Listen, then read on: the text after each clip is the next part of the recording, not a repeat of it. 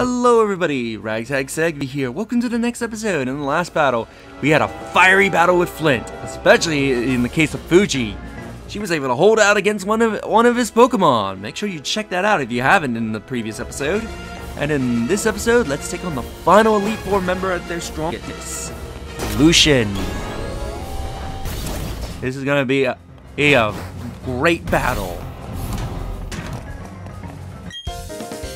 Ah, your timing I'm your arrival perfectly.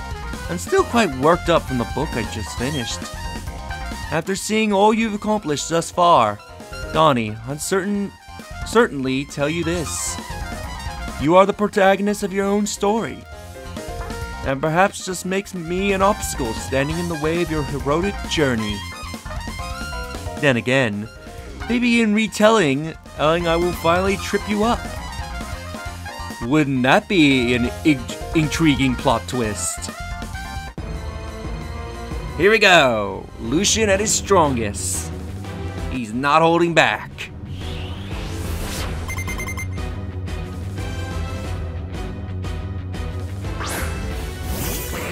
Mr. Mime! Uh, he starts with level 79, Psychic, Psychic Fairy type, with the ability Filter. So it reduces the power taken by super effective moves by 25%. With the moves Light Screen, Reflect, Psychic, and Dazzling. It's also holding on to Light Clay, so it will boost the boost uh, Light Screen and Reflect's X uh, duration by an extra 5 turns. This Mr. Mime is no different from the previous times we fought it. Again, he will try to set up a light screen and reflect as soon as possible to minimize the damage your team can cause. And because of his filter, his Mr. Mime survives, so he's guaranteed to get one of these out, and of course he chooses the light screen. That was the one I didn't want him to choose. And he's withdrawing his Mr. Mime. Ah, I'm bringing out Bronzor. That's not who I wanted to see.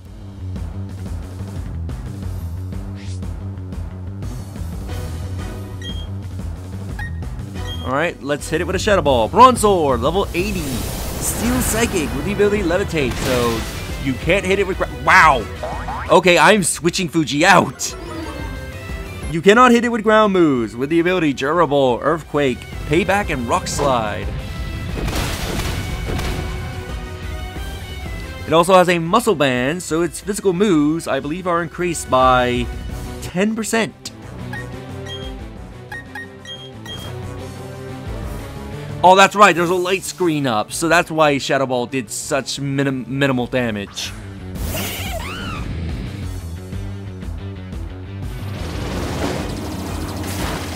good thing I switched Fuji in for that payback. Fuji, shatter that bell and also shatter that light screen.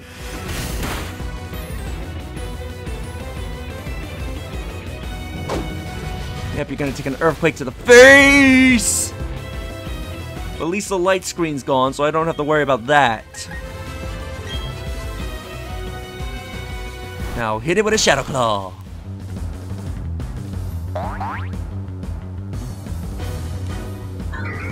Down goes his Bronzor. Now who's gonna send in next? Ah, he's gonna send in Espeon. Espeon, level 81, pure psychic with the ability Magic Bounce. Which I believe any status move we cast on um, Espeon will instead be reflected back at, back at us. But it doesn't work on abilities, however. Uh, with the moves, Psychic, Dazzling Gleam, Shadow Ball, and Light Screen. Um, if his Mr. Mime failed to set up a Light Screen, or if, um, or if you destroy it, his Espeon will try to set it up instead. It's also holding on to a Mental Herb, which I believe that, uh, kills it from status conditions? Uh, it cures it from uh, infatuation, along with moves like Taunt, Encore, and Torment. And I'm surprised he didn't try to get the light screen out. But damn, that Espeon hits hard.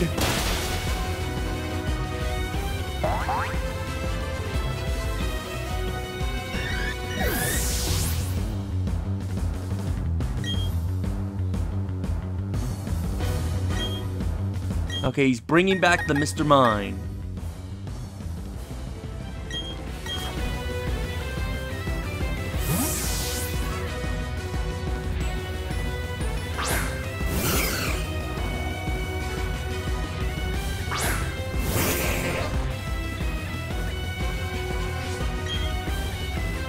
Alright, so let's take care of this Mr. Mime once and for all before he can get another uh, light screen or reflect out.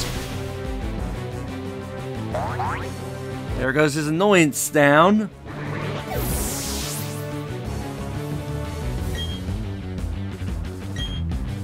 Ooh, he's gonna bring out Slowbro.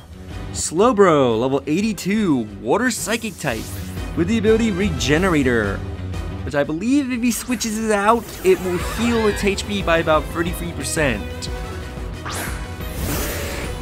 With the moves, Scald, Psychic, Flamethrower, and Slack Off. So this Slowbro has a nice counter for you if you try to bring a Grass type against it. Uh, Slack Off, I believe, allows it to heal, and also it's holding on to some leftovers.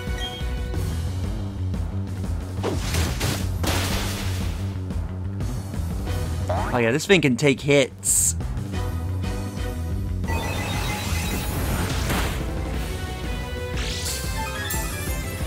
And it's gonna slowly heal. This is probably gonna be his most annoying Pokemon to get rid of. Because of how defensive Slowbro is. He's without doubt probably gonna get like a full full restores out on it. Or he's gonna use Slack Off. Uh, I could use Fuji for his Wooden Hammer or go for Kioshi with uh, Shadow Ball. But I'm worried about the Flamethrower though. That's why I switched to Lewis.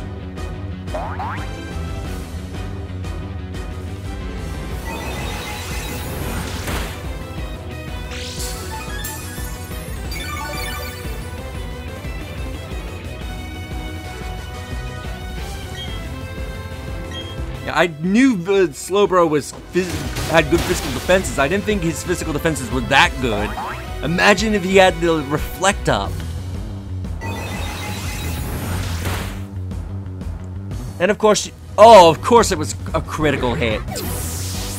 Why wouldn't it?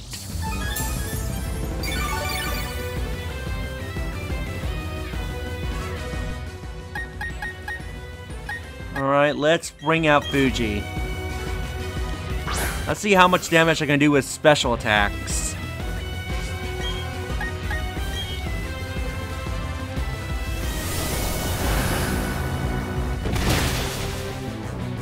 Oh, much more effective than physical. Damn. Should have brought up Fuji the in the first place. Right, your next Pokemon is Alakazam. Alakazam, level 82. Ooh, pure Earth Psychic type with the ability Magic Guard. Guard, um, which I believe Magic Guard protects it from stat, can only take damage from, from damaging attacks. Um, has the moves Nasty Plot, Psychic, Dazzling Gleam, and Shockwave. It is also holding on to a Life Orb, so its attacks are increased by 30%, but it loses 10% of HP every time it attacks. This Alakazam is meant to hit you really hard. As evidence that he almost one hit. Wow, that was a crit.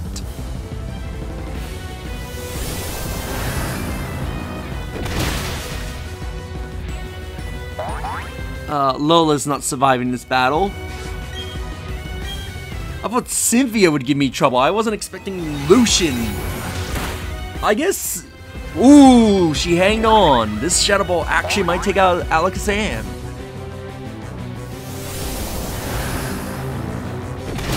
This battle's getting exciting. I thought the excitement wouldn't begin until we reach Cynthia, but man, Lucian's putting up one great, uh, one heck of a fight. He really wants the greatest story of having a plot twist in this, doesn't he? Here comes his most strongest Pokemon, Gallade.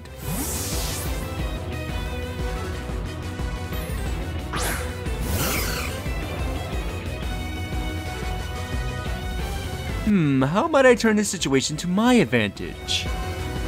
Gallade, level 85! Psychic Fighting, with the ability Justified, so if you hit it with Dark type moves, it's gonna get stronger. With the moves Close Combat, Psycho Cut, Poison Jab, and Shadow Sneak, it is also holding onto a Sitrus Berry so it can heal if its health gets low enough. Oh no, it actually survived this Dazzling Gleam. And of course it's gonna heal!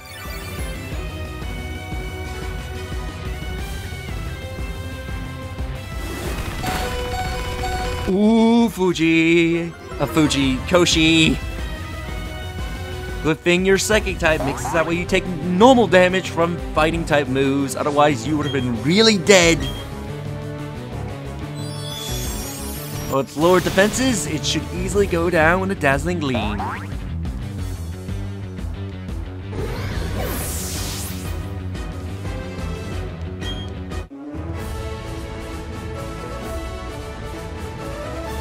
So it goes. You held the whole course of the battle in the palm of your hand.